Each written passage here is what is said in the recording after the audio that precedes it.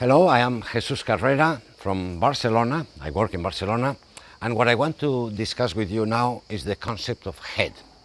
And you all know Bernoulli's head, which is basically the energy per unit weight, so it accounts for the potential energy, It would be mgz, but if I divide by per unit weight by mg, I get only c. The pressure energy, which is P divided by rho g.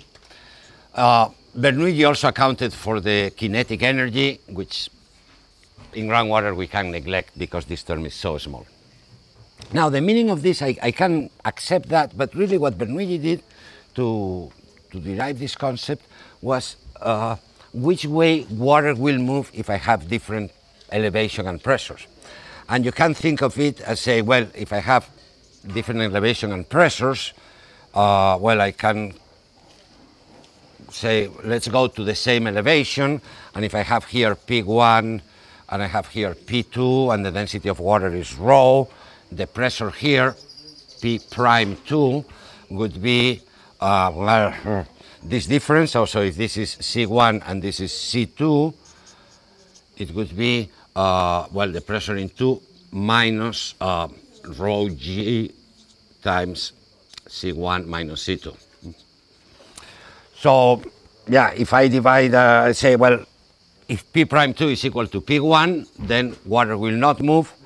And basically, this tells me, leads me to this, um, to this equation, eh? because basically this is telling me that P2 divided by rho G plus Z2 is equal to uh, P1 divided by rho G plus Z1. Huh? So, if these two things are equal, water does not move. Now, my question and the point I want to raise now is what, and this works even if rho is not constant. Eh? If rho is a function of pressure, this is, still works. I mean, I can use this type of definition and, and things will work.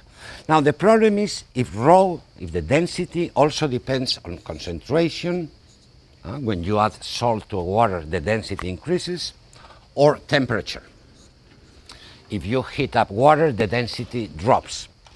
Uh, and the point I want to raise is that in that case, this is not sufficient to tell me which, water, which way water will move. Because in that case, imagine I have here rho 1 and here I have rho 2. In that case, well, mm, knowing all these things, which way will water move? This way or that way? And it is not easy because it depends. Eh? Now imagine that, yes, the temperature and the concentration are varying everywhere.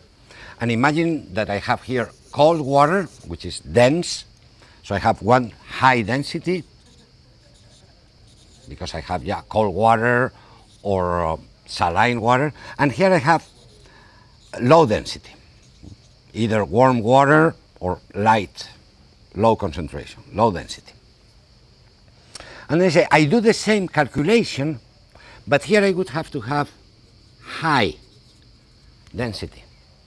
Well, if I do the same calculation, but this way, the calculation I, I would have to take here the low density, yeah? so P prime 2 or P second, because this is from a different path, would be P2 minus rho low G Z1 minus Z2, etc. No? Same thing.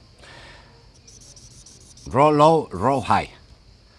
So what may happen? That P prime 2, uh, since I am subtracting a high number, P prime, P prime 2, uh, the pressure here would be smaller than P1, while here, uh, because density is low, P prime 2 would be larger than P1.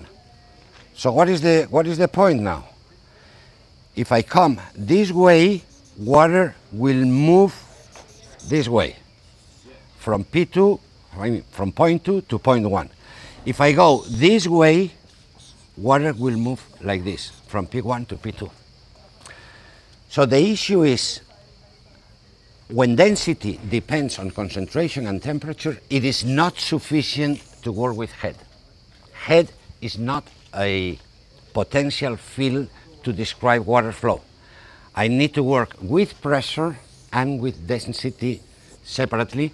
And, um, and then Darcy's law is no longer Q equal K grad H, but I have to rewrite it as Q equal, but the old way, yeah? Q rho G divided by mu grad of P plus rho G grad of of Z. And I have these two driving forces, one which obeys the density term, another one that observes that obeys the pressure term. And in essence, the thing, the thing is that if I wanted to keep this, the density I would have to put here is the mean density along the path. huh? Uh, what controls whether water will flow this way is this density, uh, the density along this path. And what controls that water will move this way is the fact that I have low density here, which is low density. So the point is that if I wanted to work with this, I would need to use the mean density along the flow path, which of course is a non-local variable. Therefore, when density depends on C and T, no single head. It depends on which way you go. Thank you.